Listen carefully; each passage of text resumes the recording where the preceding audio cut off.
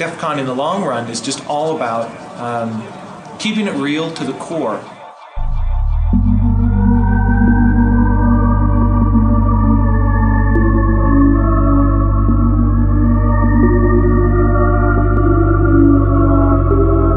The more people we get together, the more energy we create. The more energy, the more people uh, innovate and get excited about what they're doing.